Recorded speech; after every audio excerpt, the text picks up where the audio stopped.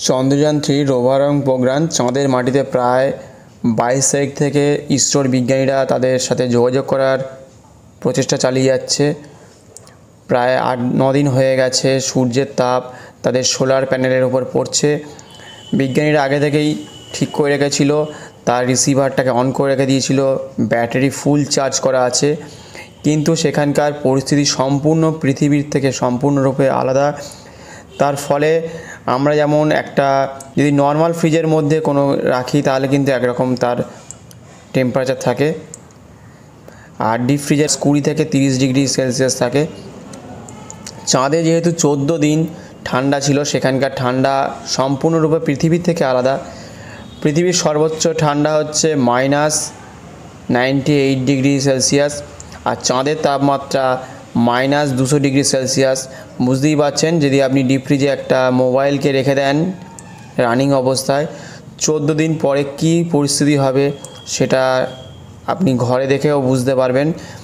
সেটা চাঁদে রয়েছে চাঁদের সেখানকার পরিস্থিতি সম্পূর্ণ যেহেতু আলাদা, সেখানকার যে আমাদের ইলেকট্রনিক গুডসগুলো রয়েছে, তাদের রোভার এবং প্রজ্ঞানের, সেইগুলো কিন্তু সেইভাবে সক্রিয় হয়ে হয়তো এখনও ওঠেনি।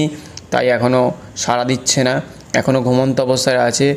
বিজ্ঞানীরা প্রতিনিয়ত তাদেরকে যোগাযোগ করার প্রচেষ্টা চালিয়ে যাচ্ছে। তাদের সোলার প্যানেলের উপর রোদ পড়ছে। এখনও পর্যন্ত প্রায় ছয় সাত দিন আছে। সেই দিনগুলোকে সম্পূর্ণরূপে তাদেরকে কাজে লাগানো হবে। শেষের দিন পর্যন্ত এখনও কাজে লাগানো হবে।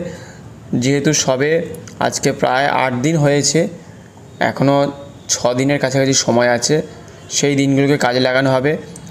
এখনও জাগানো যায়নি, তবে দেখা যাক। পরিস্থিতি যদি তেমন হয়, আবার জেগে উঠতে পারে, সেই আশায় প্রত্যেকে থাকবে।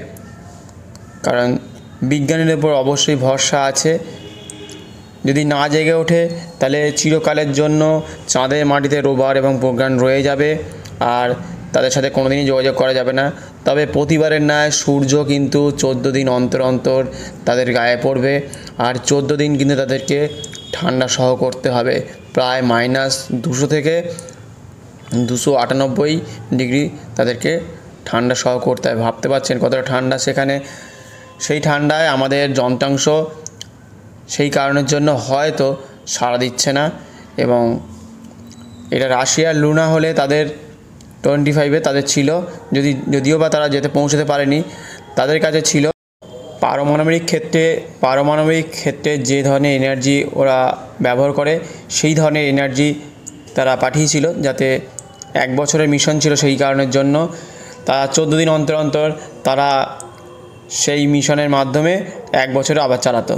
কিন্তু ভারতের যেহেতু খরচা কম ছিল বাজেট কম ছিল, সেই কারণের জন্য চোদ্দ দিনের জন্যই কিন্তু এই চন্দ্রযানের মিশনটা তৈরি করা হয়েছিল, এইভাবেই সেট করা হয়েছিল।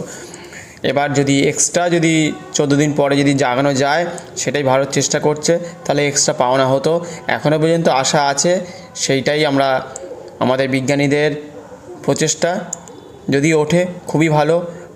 চন্দ্রযান থ্রি রোভার এবং প্রোগ্রাম, তাদের কিন্তু ঘুমোতে যাওয়ার আগে তারা কিন্তু সব কটা কাজ তারা কমপ্লিট করে তবেই কিন্তু তারা ঘুমোতে গেছে। এক্সট্রা পাওনা যদি হয়, যদি তারা জেগে ওঠে, তাহলে কিন্তু এক্সট্রা বাড়তি আমরা কাজ আরও দেখতে পেতে পারি। আর এরপরে যে মিশনগুলো হবে, সেই মিশনগুলো কিন্তু চাঁদ থেকে ফিরিয়ে আনার ব্যবস্থা করা পরবর্তী সময়, কারণ প্রতিবারের ন্যায় থেকে যাবে না। এবারে আস্তে আস্তে সেটা পৃথিবীতে ফিরিয়ে আনার ব্যবস্থা করা হবে, যে কোনো মিশন হবে, এরপরে মানুষও পাঠানো হবে, সেই সব নিয়ে এখন প্রস্তুতি চলছে। রোভার অ্যান্ড প্রোগ্রাম, তার মাধ্যমে আমরা যত কিছু জানতে পেরেছি, তা দিয়ে কিন্তু আমরা এখনও প্রায় বারো থেকে তেরো বছর আমরা কিন্তু সেই নিয়ে গবেষণা করতে পারি। ঈশ্বর বিজ্ঞানীরা সেই নিয়ে গবেষণা চালিয়ে যাচ্ছে। যদি তার জন্য প্রচেষ্টা চালিয়ে যাচ্ছে, তাকে জাগিয়ে তোলার। শুক্রে যাওয়ার জন্য প্রস্তুতি নিচ্ছে। পরবর্তী আপডেটগুলো আবার দিতে থাকব পুনরায়। আপাতত এখানেই শেষ করছি। আর চন্দ্রযানের, চন্দ্রযান থ্রি এর রোভার এবং ল্যান্ডারের জন্য অবশ্যই প্রত্যেকে আমরা আগ্রহে থাকব যে তারা যদি জেগে ওঠে, অবশ্যই আমরা আবার পুনরায় আনন্দ করতে পারব। সেই অপেক্ষায় থাকব। প্রত্যেক ভারতবাসীও সেই অপেক্ষায় আছে। এখানেই শেষ করছি। পরবর্তী আপডেট আবার পুনরায় দিতে থাকব। যারা নতুন আছেন, সাবস্ক্রাইব করেননি, সাবস্ক্রাইব করে নেবেন, লাইক, শেয়ার করবেন। এখানেই শেষ করছি। ধন্যবাদ, নমস্কার।